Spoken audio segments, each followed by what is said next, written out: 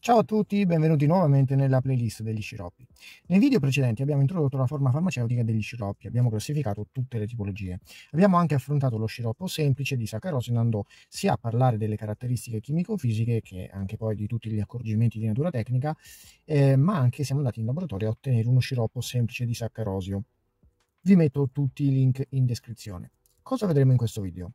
andremo ad affrontare la preparazione di sciroppi per la correzione del gusto. Si tratta di un argomento interessante in quanto il gusto di una forma farmaceutica liquida è percepito maggiormente rispetto ad una forma farmaceutica solida. Nei prossimi video poi faremo la parte pratica e andremo a preparare proprio gli sciroppi aromatizzati. Iniziamo il viaggio dunque sempre con questa slide che ci offre la classificazione degli sciroppi. Ricordo che la ripropongo qui sempre perché serve a capire a che punto della trattazione siamo che poi se ci fate caso comunque segue più o meno la playlist. Ad ogni modo la conosciamo bene, quindi possiamo passare avanti.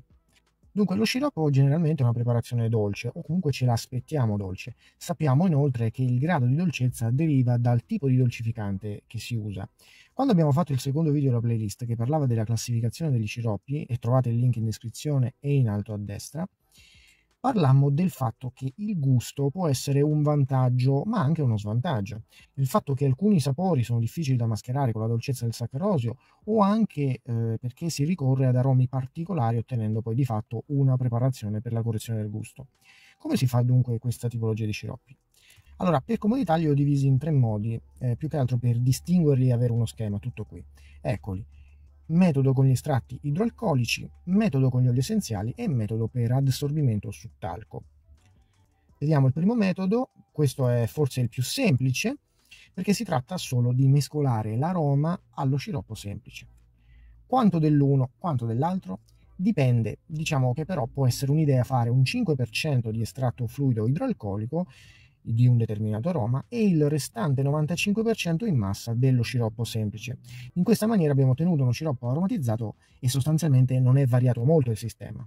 Di queste tipologie ne troviamo molti riferimenti in diverse farmacopee, ecco qui vedete il cherry oppure l'orange e qui il chocolate syrup e questi sono tutti della farmacopea degli Stati Uniti.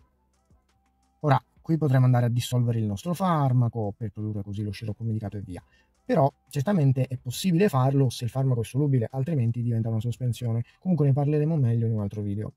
Per facilitare la solubilizzazione dell'estratto idroalcolico, lo sappiamo già, ma lo ridiciamo volentieri, si può ricorrere alle diluizioni progressive. Come? Si prende quel 5% in massa dell'estratto e ci si mette più o meno la stessa quantità di sciroppo, poi si mescola bene, successivamente si mette la stessa quantità di sciroppo nuovamente, si rimescola bene e così via fino a terminare tutto lo sciroppo semplice. Ecco, Diciamo, questo è proprio il semplice metodo delle diluizioni geometriche. Il secondo modo di ottenere uno sciroppo aromatizzato è quello di usare degli oli essenziali, quindi non degli estratti idroalcolici. Lo faremo, è il metodo che useremo per esempio per produrre lo sciroppo aromatizzato alla menta. Quanto olio essenziale va usato? Dunque non vi è una regola precisa, ma è bene stare su percentuali davvero basse. Innanzitutto perché l'olio essenziale occorre maneggiarlo sempre con cura perché è molto concentrato. Poi perché ne basta veramente pochissimo una domanda potrebbe essere, ma l'olio essenziale è solubile nello sciroppo? Ottima domanda, la risposta è no. E allora come faccio? Beh, si ricorre ad una minima quantità di alcol a 96 per solubilizzare quella piccola quantità di olio essenziale e poi ci aiutiamo sempre con il metodo delle diluizioni progressive e aggiungiamo lo sciroppo semplice. Essendo l'olio essenziale sensibile al calore, non dobbiamo fare questa operazione a caldo ma a freddo.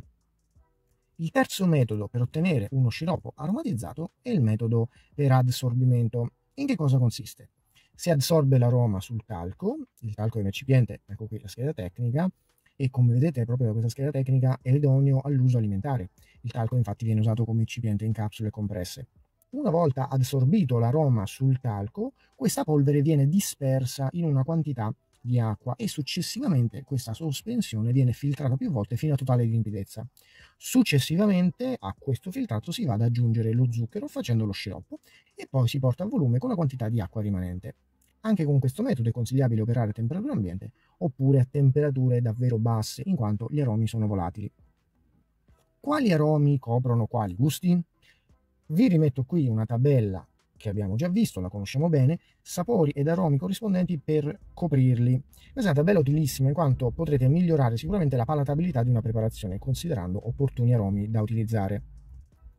Bene, termina qui la parte teorica sulla preparazione degli sciroppi aromatizzati. Nel prossimo video andiamo in laboratorio per vedere la parte pratica. Ecco, se volete approfondire qualcosa o dirmi che cosa ne pensate o come avreste fatto voi, scrivetelo nei commenti, io sarò felicissimo di leggervi e di rispondervi. Come sempre vi ricordo che se avete piacere di iscrivervi al canale e supportarmi è molto molto semplice, basta cliccare su iscriviti e il gioco è fatto. E se desiderate potete anche attivare la campanella per rimanere sempre aggiornati sulle novità, è tutto sempre gratuito. Per qualsiasi informazione, curiosità o preparazione scrivetemi alla cucina chimica chiocciolagmail.com e noi ci vediamo al prossimo video.